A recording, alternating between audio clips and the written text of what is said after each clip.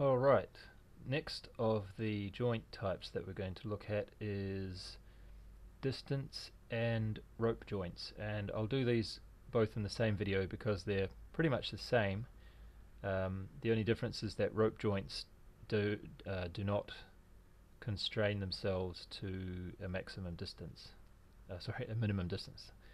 So once again the way we add a joint is the same. We have to have two bodies connected and we use the cursor position to set.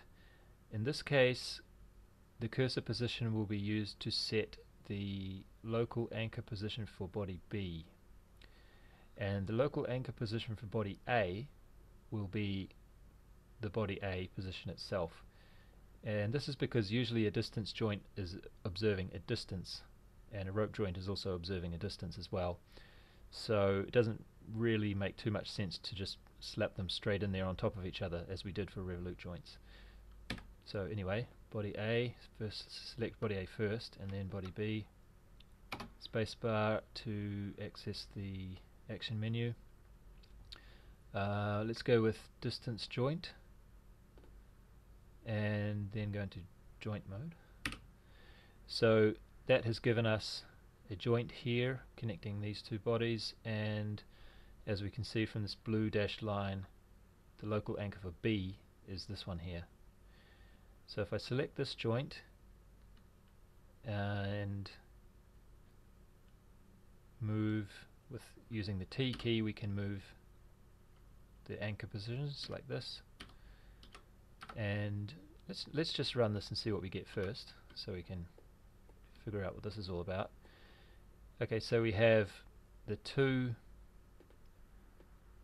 this distance joint has connected these two bodies in that manner. And let's say we wanted to shift the anchor points around a little bit. So we can use the T key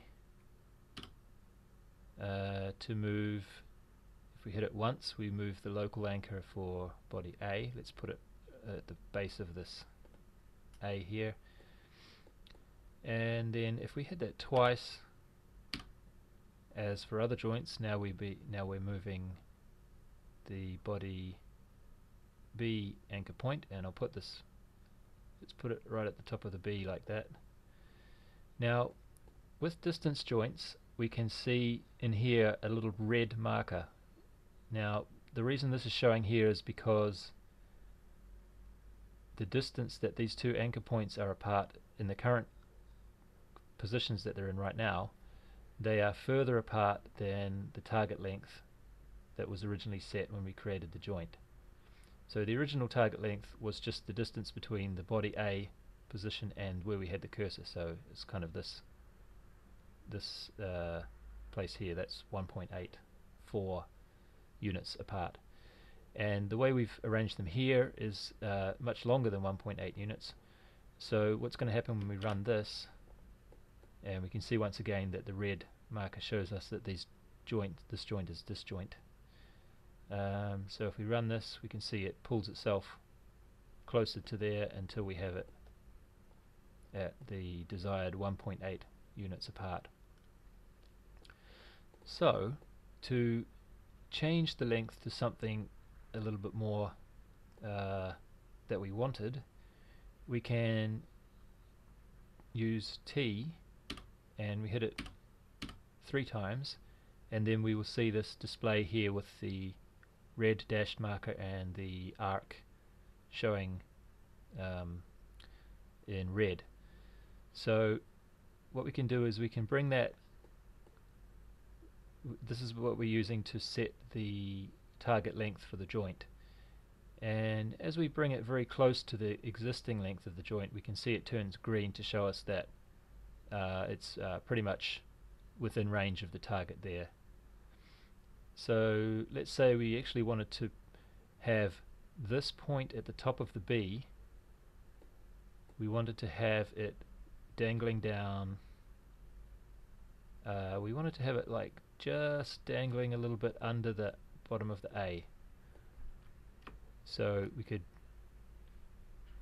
place our um, marker like that. and then when we reload this, run it again, we can see now that we have set the length for this joint to be much shorter. So this is how you can graphically set the length of the joints. And same goes for rope joints. So, oh, and if you obviously you can set it manually in here by changing that length.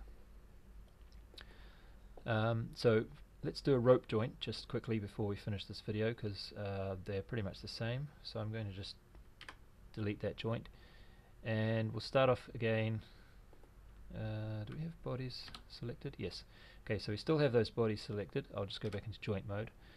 Now we add, this time we'll add a rope joint.